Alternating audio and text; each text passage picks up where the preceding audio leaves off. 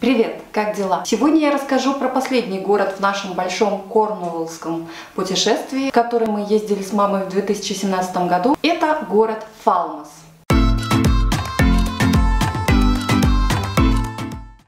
Фалмас – английский городок и порт, находящийся в устье реки Фал. Отсюда и название. А, если вы помните, я уже рассказывала, что Мус – это устье, и в Англии существует огромное количество городов по названию устья рек, э, в которых находятся эти города. Плимут, э, Бормут, Веймут, Грейт Ярмут и так далее.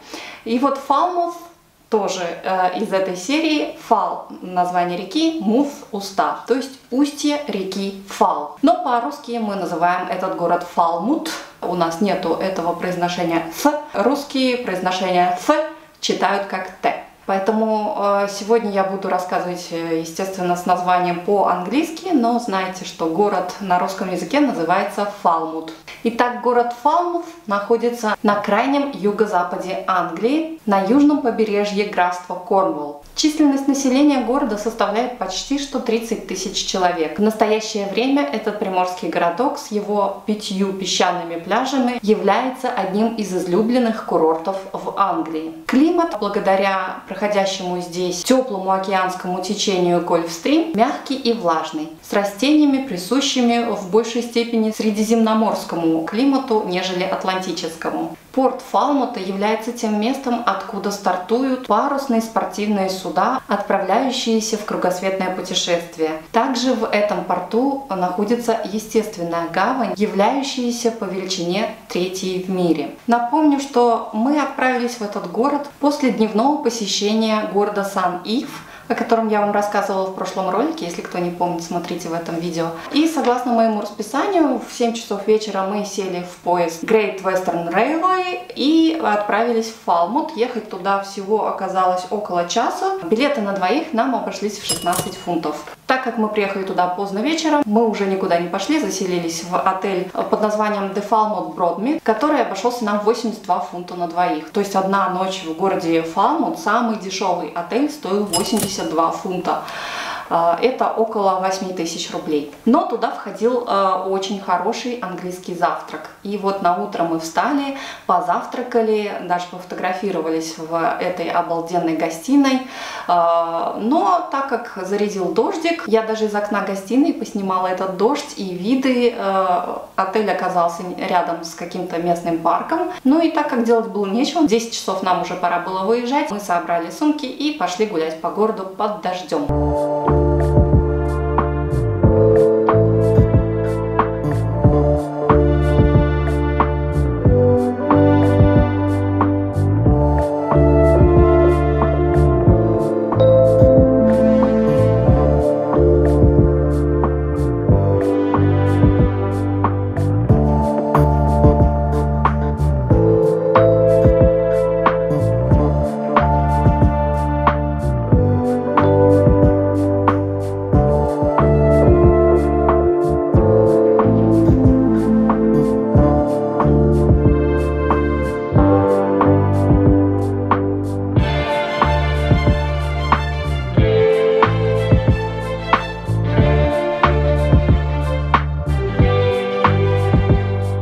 Нарядились в дождевики, которые мне выдали на какой-то выставке, и пошли гулять. Кстати, по поводу этого дождевика именно в этом городе Фалмут над нами прикольнулась одна англичанка, там сзади дождевика написано «Rain, rain, go away», то есть «Дождь, дождь, уходи». Но мы не знали, что у нас такие надписи, просто расправили, надели и пошли. Мы уже потом обратили внимание на эту надпись, и э, ну как-то было весело гулять в таком вот желтеньком солнечном дождевичке. Так как э, в городе шел практически ливень, мы решили начать наше ознакомление с городом а, с магазинов. Зашли в Маркс и Спенсер.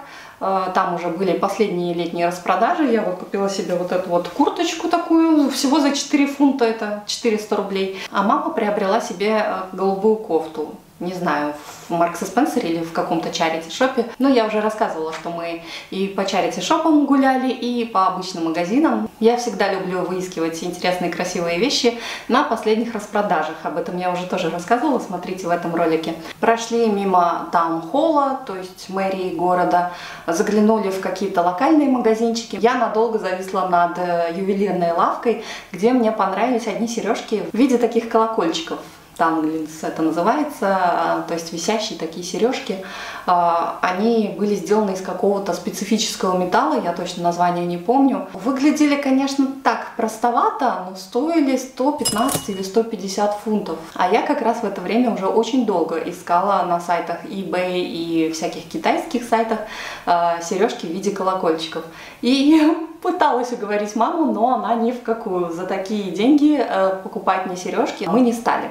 Но, тем не менее, я их хотя бы сфотографировала себе на память. Я просто очень люблю полевые цветы, ромашки, колокольчики, майки и васильки. И всегда предпочитаю иметь такой букетик, нежели там розы, георгины, каких-то а, дорогих сортов цветы. И так вот магазин через магазин мы дошли до гавани. Там я тоже поснимала, пофотографировала как и рыбацкие кораблики, так и большие корабли. И в этом же районе мы нашли огромный морской музей, который называется National Maritime Museum of Cornwall, то есть морской музей относящийся ко всему э, графству Корнвелл. Но билеты туда стоили около 15 фунтов на одного человека. Для нас это было очень дорого, тратить на музей 30 фунтов. В наш бюджет это не входило, поэтому мы пропустили этот музей. Но, в принципе, там наверняка все то же самое, что и в других э, морских музеях э, по Великобритании, десятки которых мы уже видели. И мы поплелись уже на берег, на пляж, посмотреть хотя бы под дождем, как выглядит пляж в городе Фалмов. И вот мы вышли на берег моря, а там оказалось пляжа-то и нет. На море бурлил шторм, и практически набережную заливало высокими волнами. Но мы нашли э, какие-то беседки, там немножечко посидели, пообедали тем, что у нас было какие-то бутерброды, э, бутылку молока мы купили, помидорки. Ну так, как всегда в дороге, мы перекусываем овощами и бутербродами. И вот там я, как бы даже не планируя, э, что я когда-нибудь это буду показывать, просто для себя, сняла небольшое видео, вот вам показываю. Так, мы сидим на берегу, где мы сейчас находимся? Пол Полмуса. Кушаем под дождем. Самый классный ресторан, самый красивый вид и пейзаж, и самый натуральный продукт. Вот так мы проводим последний день нашего путешествия, да? На крайнем юго-западе Англии. Ура!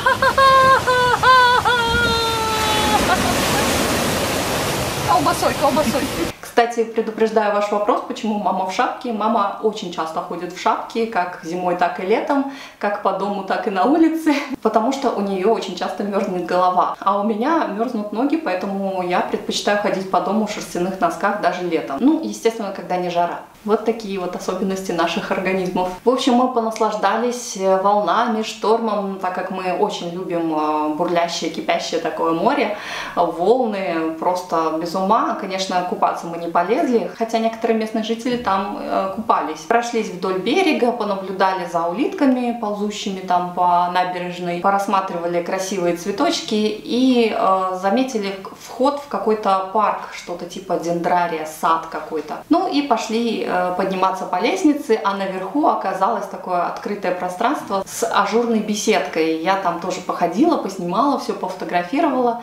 И так как мы немножко подмерзли, а рядом было кафе, мы там и засели. Подзарядили там свои телефоны, купили чайничек, попили чаю и отправились на станцию Falmouth Bay, э, то есть э, набережная города Фалмус, откуда мы и направились в Лондон.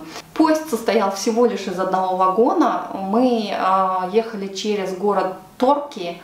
Э, очень, кстати, тоже красивый город. Может быть, когда-нибудь я и там побываю. К сожалению, он не находится на берегу моря. Я-то планировала все города, э, чтобы поездить по морю, позагорать, покупаться. Но э, этот город, в принципе, можно посетить тем, кто будет путешествовать по Э, графству Корнвалл. В общем, в 17.30 э, мы выехали из Фалмута, приехали в Лондон на вокзал Паддингтон, аж почти что в полночь. Без 15-12 мы были на вокзале в Лондоне. Билеты нам обошлись в 46 фунтов на двоих. Вот так вот, в принципе, и закончилось наше э, большое такое путешествие, состоящее из трех ночей и четырех городов э, в графство Корнволл, самое дальнее западное графство в Англии. Пока на этом все. Не прощаюсь с вами. До новых встреч!